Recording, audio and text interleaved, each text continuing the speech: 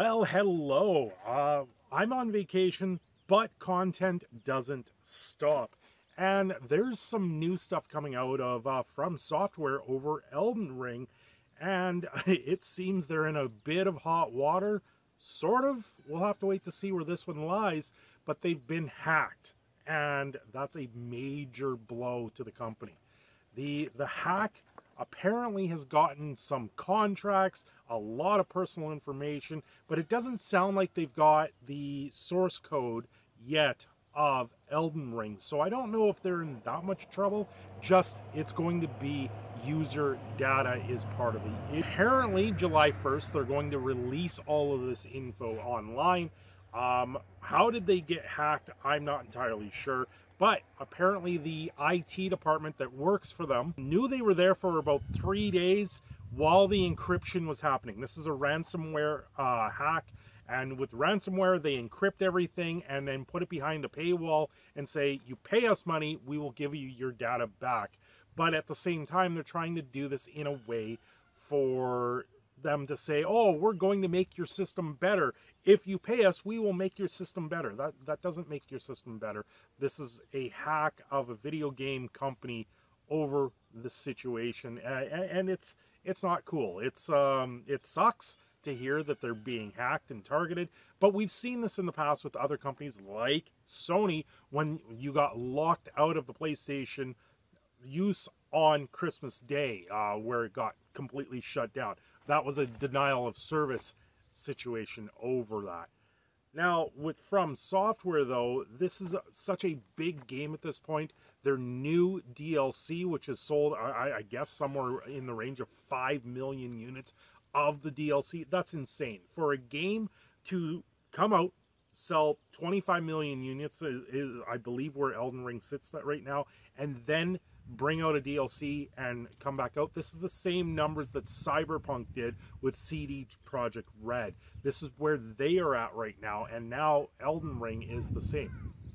Now, I have my beefs over Elden Ring. I, I believe their anti-cheat, their DRM, their digital rights management that they use in it, I think it creates a lot more issues than it's worth.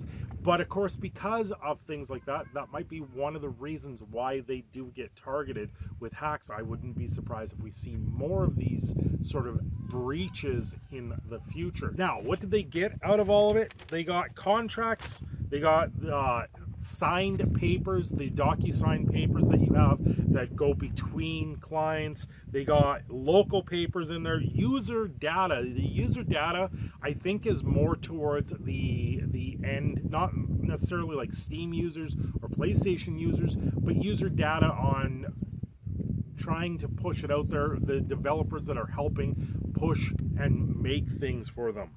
Um, they got future business plans, project data, some financials, and confidential data, meaning in, in-house memos, papers, all that stuff.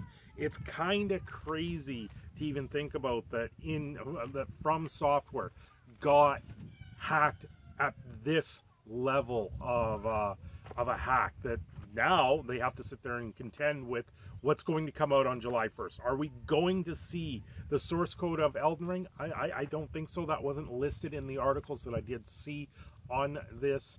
But this is a pretty big deal. Um, it's not every day you hear of a big company or a big game like this getting hacked. Once again, this is the market right now that we live in. It's the digital age. And with the digital age, you get more hacks and more data breaches of personal things. And you know, a, a, physical copy maybe gets around that type of thing, but physical copies can't be as large as what we see.